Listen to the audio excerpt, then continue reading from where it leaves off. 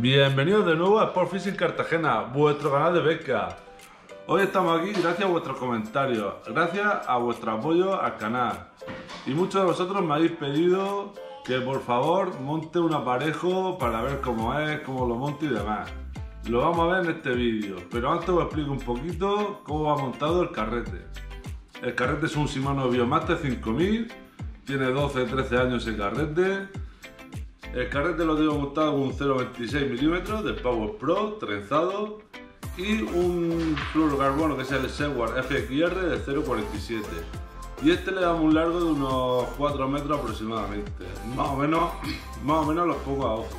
Porque en los movimientos del Tataki podemos llegar a partir con el paso del tiempo. Y el paso del tiempo es una pesquera, dos pesqueras o tres pesqueras. Con lo cual con un 0.47, un 0.50 nos aseguramos de que ese líder pescando los calamares no lo vamos a romper. Y pescando al tataki, lo que es el aparejo del tataki, lo vamos a llevar de un 0.37, que ahora lo vemos en el montaje. ¿Y por qué un 0.37? Yo lo pesco más fino, yo lo pesco a mano, tal, sí. El tataki es una técnica muy agresiva con una caña tubular, con el puntero híbrido y en los movimientos rápidos un aparejo por debajo del 0.37, en dos o tres movimientos hemos partido el aparejo sigue siendo igual de eficaz que yendo más fino y nos ahorramos perder pajaritos.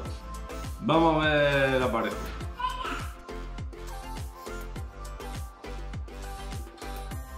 Bueno, pues aquí tenéis los accesorios que utilizo. Grapa, giratorios en 8 y los enganches rápidos con su giratorio.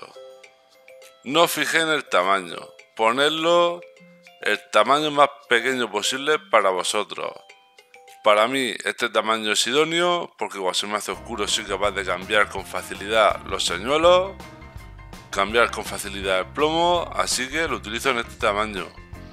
Pero hay que reconocer que a veces se puede complicar. A mi padre se le complica bastante, a mi madre también, así que os recomiendo si tenéis que poner un numerito más pequeño que, el, que el giratorio o el accesorio sea más grande, mejor.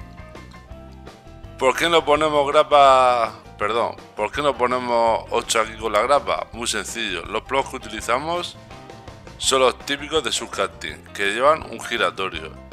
Con lo cual es tontería llevar tres giratorios en el mismo líder en un 2 metros. Así que grapa sola, menos lío y para adelante. Lo siguiente que tenemos que colocar es la unión que va a ir a nuestra caña. El giratorio en 8. Ya os digo, yo uso este número, pero se puede usar un numerito más pequeño para que el giratorio sea más grande. Lo siguiente que hacemos es colocar ya el primer enganche rápido que utilizaremos nudo palomero en todo el aparejo, ¿vale? Fijaros, unos 15-16 centímetros para el primer enganche. ¿Por qué lo ponemos a 15-16 centímetros? Muy sencillo. Los pajaritos de tamaño normal están en torno a los 9 centímetros aproximadamente con las coronas, más el enganche unos 11 centímetros.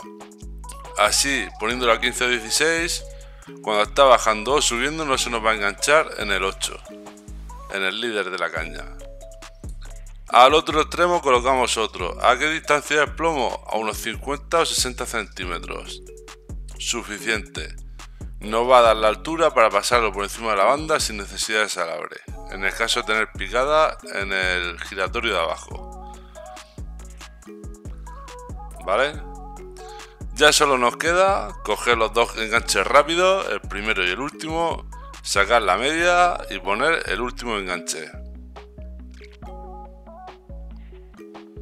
Ya he sacado la media, cogemos y colocamos el último enganche. Recordaros que esto es un aparejo para tres señuelos. Se hace súper rápido y ya os digo que es muy muy eficaz.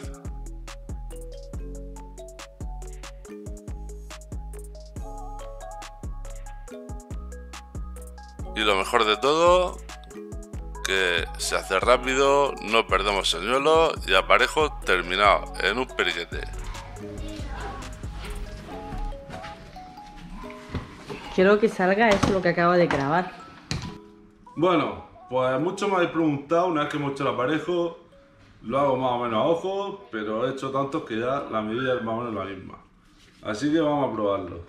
Vamos a ver y lo vamos a medir qué distancia tenemos entre pajarito y pajarito.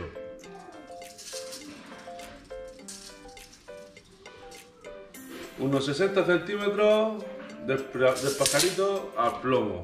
60 centímetros. Ya sabéis que yo lo hago a mano, es un largo de la caña. Y fijaros, unos 60 centímetros entre pajaritos. Pues deciros que está parejo, es que llevan mis padres, ellos no hacen tataki y siguen pescando calamar igualmente. Así que nada, os animo a probarlo y nos vemos la próxima jornada. Las cosillas que me gustan, un like por aquí abajo, un comentario y la campanita. Y si podéis lo compartís. Nos vemos en el próximo vídeo.